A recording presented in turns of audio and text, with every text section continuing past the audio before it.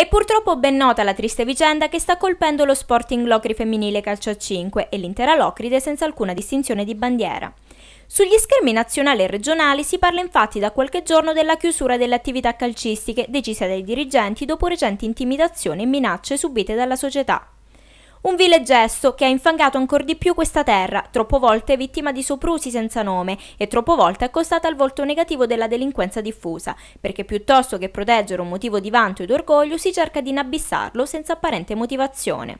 L'atto intimidatorio non è stato soltanto un'offesa alla società e alle calciatrici, ma un colpo diretto ai quanti giornalmente e nel silenzio si impegnano per riscattare questa triste e dura realtà sociale. Non sono mancati di certo i messaggi solidali provenienti da ogni dove, infatti istituzioni ed esponenti politici hanno proclamato a gran voce un unico motto, lo Sporting non può e non deve chiudere. Accanto ai messaggi che si stanno diffondendo, un commento è giunto anche da parte delle avversarie, precisamente dalla squadra che domenica 10 gennaio dovrebbe affrontare lo Sporting. Stiamo chiamando in divisione per conoscerne i dettagli la vicenda, come sempre noi dobbiamo organizzarci per andare in trasferta, tuttavia, pur esprimendo la nostra solidarietà allo Sporting Locri femminile calcio 5, noi abbiamo paura ad andare lì.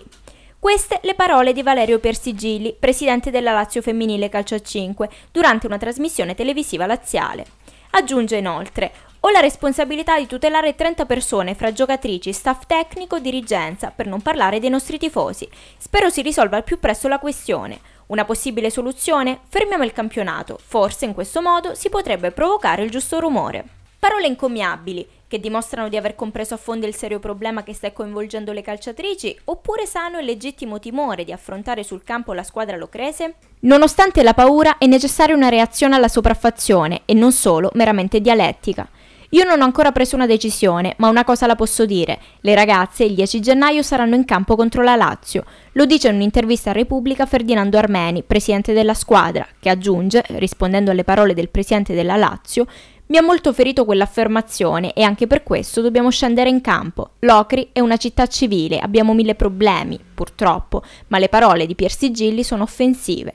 Questa sua uscita è incomprensibile. Senz'altro questa difficile situazione e gli occhi dei media nazionali puntati sulla squadra, ma semplicemente la voglia di riscatto, ha dato nuova linfa vitale alle ragazze, che in campo sapranno certamente dare uno schiaffo morale a chi ha cercato di distruggere il loro sogno, e questo il presidente della squadra avversaria lo sa bene e a conoscenza che le sue calciatrici non sfideranno soltanto lo Sporting, ma in senso figurato anche una città ed una regione stanche di essere sempre solo associate al marciume sociale, ed una formazione così fa davvero paura.